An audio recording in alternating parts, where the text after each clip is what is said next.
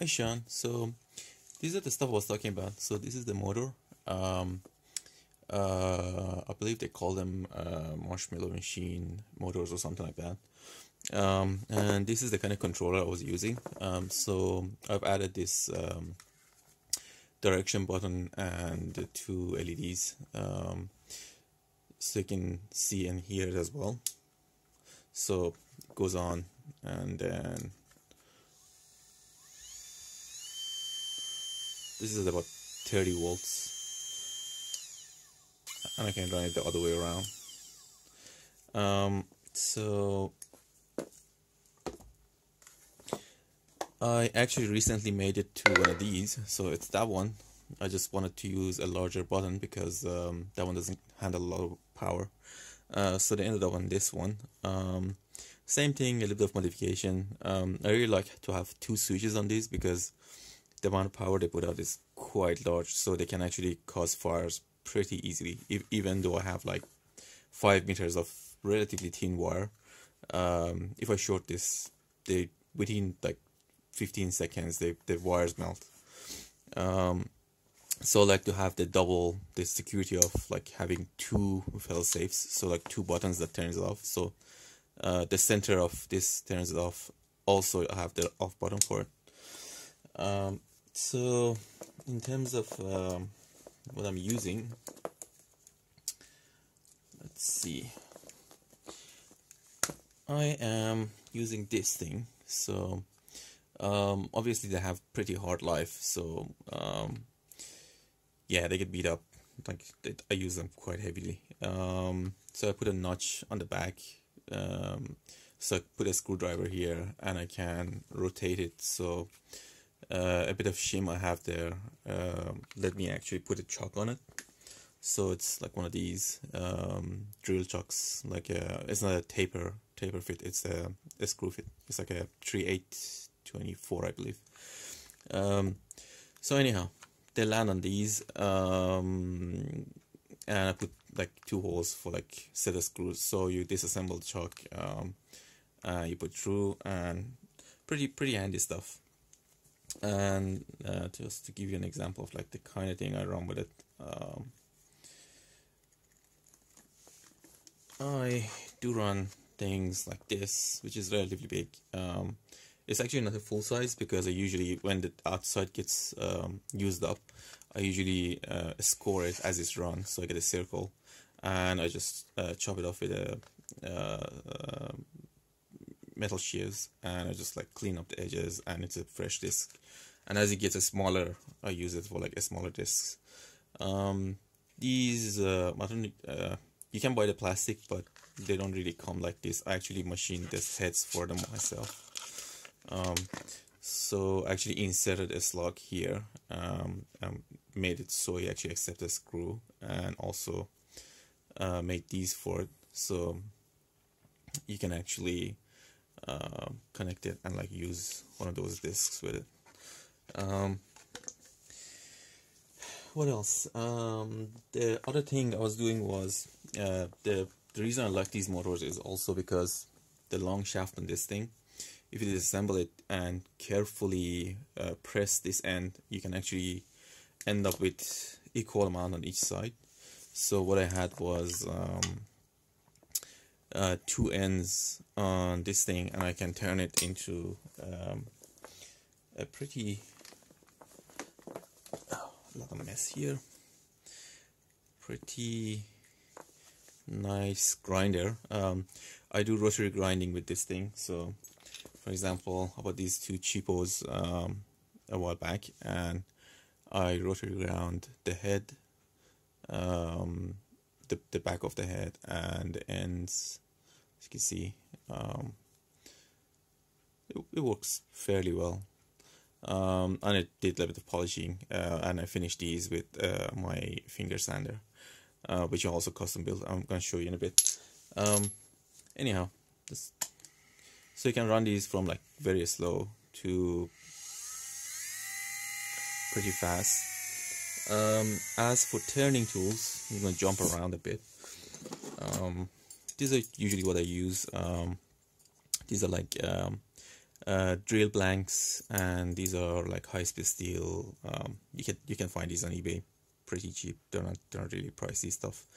Um, the the grinds are kind of up to you. Like I have two uh, radiuses, and I have like a really sharp point and like another one flat one.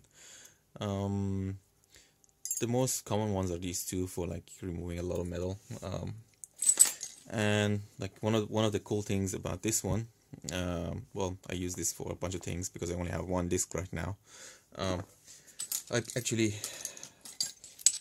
I actually machined the holders for this thing on this thing um, so if you actually look at this thing these I machined on on the on the same motor. So I actually turned them on on this motor. And same thing for this side.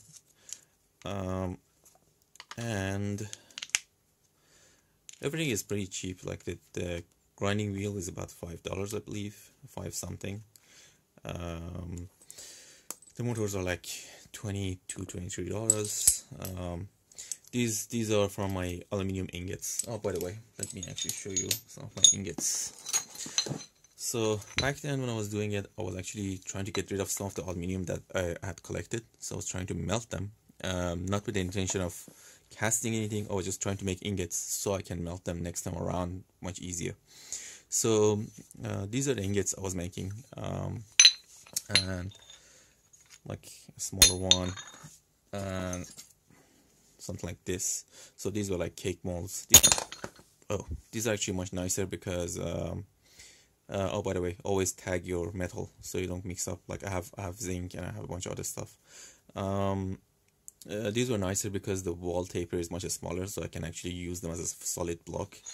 You don't get nearly as much useful out of this one, but uh, yeah, whatever. I, that's what I had at the time. Um, actually, I'm working on making a new furnace. Um, the old one was kind of weathering too quickly, so I did I don't know about three times this three to four times this, and the body kind of gave up. So um, I'm waiting for uh, getting some better stuff to do a better one.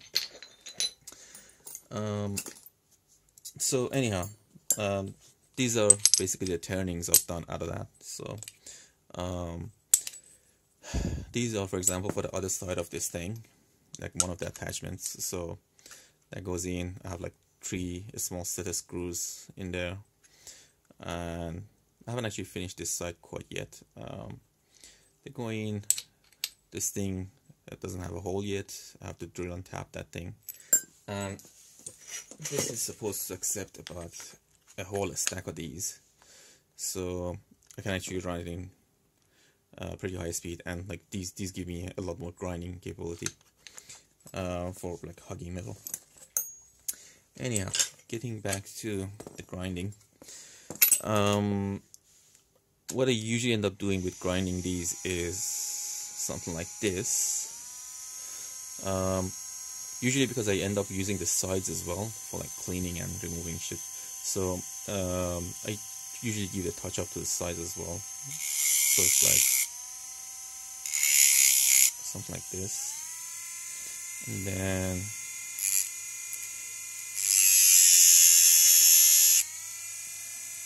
can do like a sharpening like this.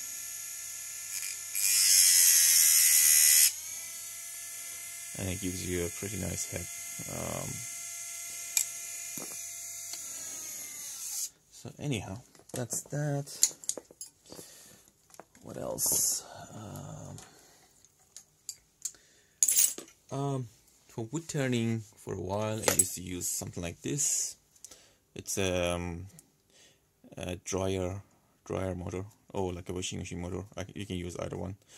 Uh, problem is you can't really control the speed of these. Um, they usually come in like one or two speed and that's that. Um, it runs pretty quiet. Um, it was kind of nice but um, it's not exactly the best. Um, I usually prefer uh, DC motors.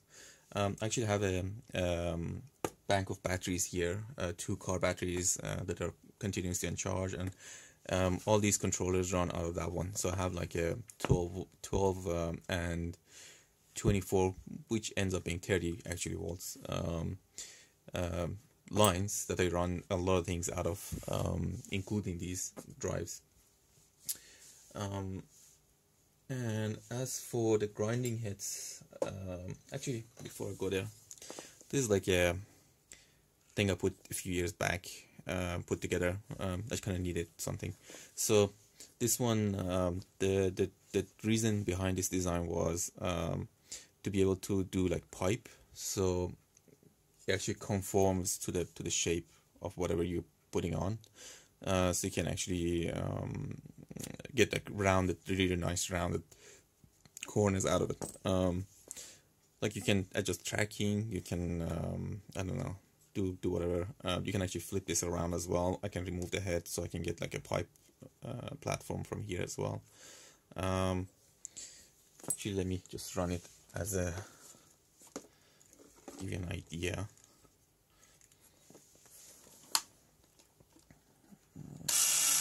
So I can run it from like really slow for control the stuff to like so anyhow that's that. All right. Dremel. Dremel um, there are a lot of handy tools you can use with Dremel. Um, these are like some of the stuff I have for my Dremels. Um, uh, so these you can buy. Like these are the, the saws. Um, um, for removing like a bulk amount of aluminium. Sometimes I stack them like this so I have a stack of two um, and I offset them. So this helps it with not grabbing. So you can actually like lean on it and it doesn't grab and pull um, and by the way be careful with these because once they pull they usually run over your hand and see this kind of thing that yeah, they can do a lot of damage when they run off. Um, so this is also a glue chuck so I can actually super glue something to this and turn it. Um, um, I have something similar to this for turning wax so I can make like um, casting and stuff but um, um, yeah and this is like a smaller one. I can just put it directly on a motor and like glue something to it and turn it. Um, this is like a chuck one so I can actually hold it with the same motor. Um, other thing is um, you can buy a bunch of um, um, shafts depending on depending on your use um, these usually come with like like those drill mounted grinding discs or whatever um, I make a bunch of them for myself because they have more um, features that I want. Uh, so these are like um, washers that they actually um, attach on top of these. Like these are like the default ones. Um, these are actually kind of nice. These are like a bigger, bigger screw, etc. Um, so I can make like a whole bunch of variety, like a, with larger flats and whatever. Um, I'll show you further down where those go. So um, some of the essentials, um, I think you should uh, go through these so get yourself some uh carbide burrs so these are these are amazing like just, just get them like they're the best thing ever um the next thing is like these uh, diamond wheels. Um they're pretty cheap. Like the diamond is like industrial diamond so like it's not a it's not a particularly expensive stuff. Uh, you can get like a small wheels like these out of it as well. Um, actually show you a bunch more. Um, and like a diamond head and a diamond wheel dresser. So like if I want to dress this thing I can use these to like uh, form it or whatever like for example I turned these um, out of um, they're not fully balanced yet but like I just turned it rough shape out of like um, um, grinding like a sand, sanding block I had um, what else um, a bunch of these I make myself, so I'm gonna leave those for last. So these are the defaults you can buy, like different profiles. These are also super handy. Um, um, like they have the the heads and whatever. Um, I don't know stuff I put together myself. A chalk for like holding a stuff. Sometimes I need like a something I can control and I can put something on it and work with the other one um, on it. Um, uh, scotch beels so um, like these are my own um, heads uh, I use these as well um, I used to use those bigger ones but um, these actually work really well. So these I, I cut myself as well. Um, I'm gonna talk about this foam later on as well so those are pretty handy. Um, ay, ay, don't go in. Okay. So what else? Um, oh before I get there. This again I think it was like a toy uh, I took apart put a shaft on it put like a bit of foam to pad it. This is actually quite handy for a lot of things. Um, I keep the broken um, belts out of the finger sander uh, and I can use them in um, like a flap like a homemade flapper. So um, where did they go? Here. Anyhow it's, it's just just basically a bar with a line in it. So you just cut uh, cut a line in a bar and you can actually um, put it in and wrap it around it. And you can use a lot of like sandpapers like that and it's, it's really useful. Um, so let me get to the next one. Um, these I have a lot of random stuff here. These are actually all really handy. So you can get um, um, like these are the used ones. Uh, you can get a bunch of these um, online. Usually they're not that good and also you have to run them really high RPM otherwise they, they really don't work well. Um, these are like polishing wheels so they are like super fine polishing. Um like 50 50 on these. Um I can't say I don't like them, but yeah, they're fine. Um, these are great. These are usually um, listed as like dentist tools or whatever. So these are like rubber uh, that is uh, infused with diamond. Um, so these actually polish polish really nice. Um, they don't do like fine polish. Uh, they have like a color code for like what kind of what degree of polish it does. But um, um, out of the stuff that you can buy, these discs uh, so those are like reinforced cut-off discs um, these are kind of crap to be honest. Uh, there are these other ones which are not reinforced so these are like um, uh, basic just just like super thin uh, discs. These break like crazy um, and if you're running at high RPM they spray like crazy. But um, one thing they have going for them is they're really thin so you can get to places that you can't get normally. And I like to use them with this kind of um, uh, mandrel because um, again these are like I had a washer and put on and whatever. Um, this actually pads it and provides a lot of support so they don't break nearly as easily uh, with this thing uh, and with padding because it absorbs the vibration and stuff um, without it, like if you just put it on one of those shafts, it, they, they break like crazy and they're not fun. Um, other things, um, sometimes I grab one of these discs, uh, sanding discs. Um, they actually last quite a bit, so they're really nice. And I actually, um, like I, I cut them off with like a, a metal snip and just like draw it on and cut it off.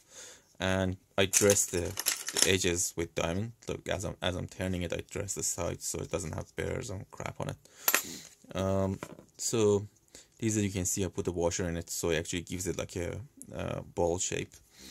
Um, so these I usually cut myself, so it's like different different grades. Uh, it's like 80, 120, 180, whatever. And these are like from um, belt sander belts so it's like I had an old one. So these actually work super nice. I love these. Um, it, these were really old so I was was kind of surprised they actually worked that well. And these are the ones that I made out of like the grinding disc or whatever. Usually usually what happens is like I have a I have a disc that goes bad and I sort of recycle it and turn it into a smaller discs um, the other thing you can usually buy is like one of these, uh, or more accurately, you can buy them in this format, which is like one single wheel. I actually did a bit of, again, hacking, so I added like two two custom-made washers for them, so it, they actually compress, and I have like a larger wheel. So as I tighten it, it actually grabs the the things, and anyhow, like those are useful. Um, let's go to the other box. Yeah, I have a lot of these. Um, again, those the rubber ones, um, the cutoffs, uh, the diamond disc extras. These are solid discs, polishing, um, reinforce, etc., etc., etc. What was the important stuff? Oh, the diamond stuff you can get them in a lot of different formats. Um, the trick with diamond is to not apply too much too much pressure because um, the diamonds are not really embedded really hard. You just have to give them a little of time to cut properly. Um, some carbide carbide end mills for drilling to like harder stuff like glass or whatever. Um, they come really handy. Or like removing um, broken drill bits and that kind of thing. Um, a bunch of punches that I made. Um, these are like for softer stuff, but like basic punches. So, for example, I punch out these out of the foam, like out of these um, foam mats uh, for uh, the stuff I'm going to show you next. So, uh, extras of that. So, right, that's the wheel I use very often. So this is like a support pad um, and a long flat screw here. And a bit of foam, so that's where the foams go. Um, I actually end up using a bit of rubber here as well. It's like a bicycle tire or something. Um, so I can put like a disc on it and the whole thing sandwiches and I can use it on a disc. Um, the nice thing about this one is because it has a thick soft padding behind it, it actually conforms to a lot of corners and shapes and lets you do a lot of like fine work. Um, which is quite nice. Like it actually gives you like finishes that you can't get quite with other stuff. Um, the other thing which looks horrible at the moment is this one which if I can find pliers so again this I turned this um, just like on in one of the motors like I literally turn it and I Loctite I locked it, Loctite it on and turn the rest and made a ball here. So it actually forces this thing to, to form a ball. Um, it's actually kind of a stack for some stupid reason but you can run like a small disk um, have a good one. I usually keep the crappier ones on it because um, sometimes I don't need the disc to be fresh because they dig into the stuff. Like I want it to actually be a little bit dull um, so occasionally I have one or two but like this one is probably a goner. Um, and I kind of use one of these as a back support a little bit to so I can like lay a little bit on it and it doesn't like lean away from me. Um anyhow. Um jumping around so bear with me. Um these I can use on Dremel as well so I also made like turn these shanks as well uh, so uh, these are out of like the same metals that we have in in like the sheet metals we have in TIG welding and in like in the fab shop um, so these are like scraps out of that one so I turned them to washers and um, to sort of hold the wheel um, so I can do a lot of stuff with them. Same thing with this one I just made it like a bit larger um, so it holds like full size uh, discs. Um, I can I can literally like I usually put like something like this on it if I need to. But what happens is with the large grinder like with the 10 inch or 15 inch as I use these um, as they get a little bit smaller I actually keep them for this kind of use because they give you a lot more control and a lot more accuracy. At the same time um, they're actually really good at cutting like compared to like those crappy ones uh, that come for the Dremels these actually work a lot better. So anyhow another another turn thing so works real nice um, I love it. It took a while uh, to make all these but man they're handy. Um, so anyhow oh, one item I forgot um, if I make a similar head for the other side I can actually put like these pads as well. These are really nice. Uh, I kind of did the mm, sort of polish on this with that one it looks a bit dull because I actually sprayed it with lacquer um, Um, uh, what else? What else? Oh. Diamond wheels, you can get them in bigger sizes as well. Um, just to give you an example of what you can do with them. Um, this is like a piece of stone, like this. Then turn it to a badge thing, like this. Uh, just an experimental thing. Um, anyhow, that's that. Um, and I'm gonna stop the video. I'm gonna show you the lathe in a sec. So this is my lathe. Um, not really a lathe, it's just a motor. Um, I hold it in a bench vise and uh, this is actually quite new addition. Uh, I just got this vise, um, uh, sorry, the, the four-jaw chuck, um, I don't know, uh, two weeks ago or something. Um, I just turned like an attachment for it and attached it to a motor. This is not really strong enough, so if I actually want to do more serious stuff, I would um, put a bearing block here to support it like as close as possible. And I'm probably gonna put a bearing block that is pretty large so I can actually um, push the stock through and it wouldn't hit the the motor. Um, which means I can't direct drive it, which kind of is a shame. I like, really like direct driving, but oh well, trade-offs. Um, um, again, super cheap. Uh, I don't know, ten dollars dial indicator. It works. Um, another like ten or fifteen for like a thing. Um, didn't come nearly as nicely finished. Like I, I actually like cleaned it up and like did the blacking again myself, but it works. Like there's nothing wrong with it. Um, for the purpose, like if you if you're on budget. Um, so anyhow, the lathe is probably considerably overkill in terms of power. This is 800 watts motor. Um, like at 36 volts, I believe it would take something like 28 amps, which is crazy. Um, I mean, it's not a lot, but uh, it has a lot of torque, which is the nice thing about it. So this is the sort of lowest speed I can get out of it, and the chuck is loose, so it actually makes clicking noises. Um, it can go up.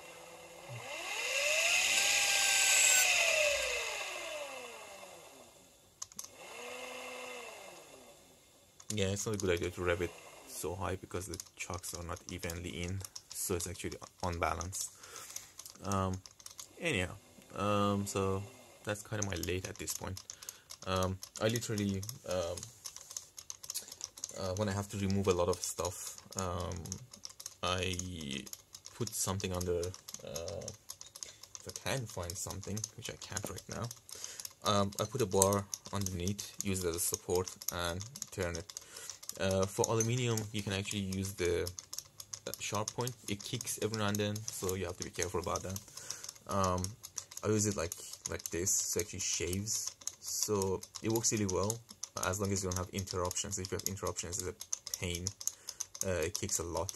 Once you remove the interruptions and like you're you're actually in a circle like I start from like a square so it's a bit of a pain.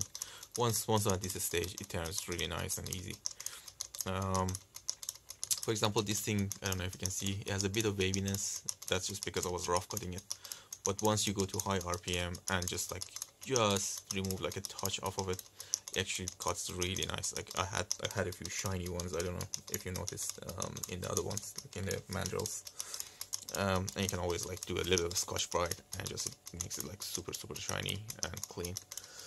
Um, yeah that's about it I think for all the basic tooling I have. Um, literally for like rotary grinding what I did was I put that that grinder thingy. And this. And I just brought it into it. And let it like gradually work work its way in. Um, it's loose but the idea is it wants to be a certain state so if I push it a little bit to the to the work it always wants to come back to that, that uh, stable position that it wants. So it actually removes the bumps gradually. It's not nearly as nice as like a solid machine but it works. Um, so yeah I believe that's about it